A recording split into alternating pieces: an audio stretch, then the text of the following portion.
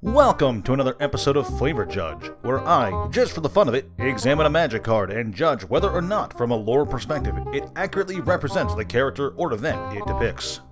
Last month, I discussed the battle between Nicol Bolas and Ugin the Spirit Dragon, as well as the effects this conflict would have on the world of Tarkir.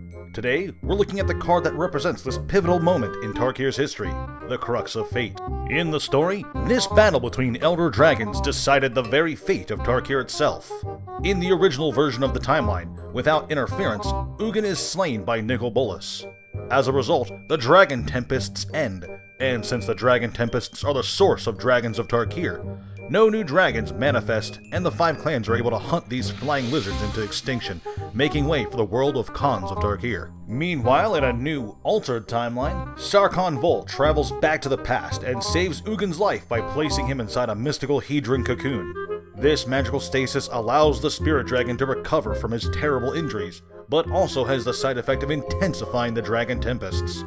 More dragons are spawned than ever before, and the clans are all but conquered by the five Dragon Lords, leading to the horrible world of Dragons of Tarkir. The results of this battle truly did determine the fate of a world.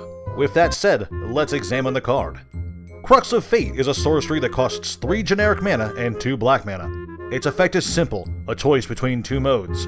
Destroy all dragons, or destroy all non-dragons. I'm not gonna lie, this is honestly one of the most flavorful cards I've ever looked at. Its first mode perfectly represents the original timeline. With Nicol Bolas' victory, dragons are driven entirely extinct on Tarkir. Meanwhile, its second mode gives a good glimpse at the effects of Ugin's survival.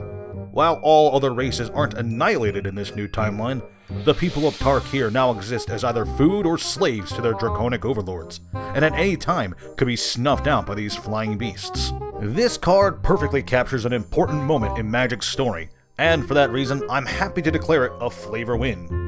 I hope that you enjoyed this video. If you did, please leave a like or share it with your friends. Also, feel free to check out other lore videos on my channel. I've got over two dozen now for you to peruse.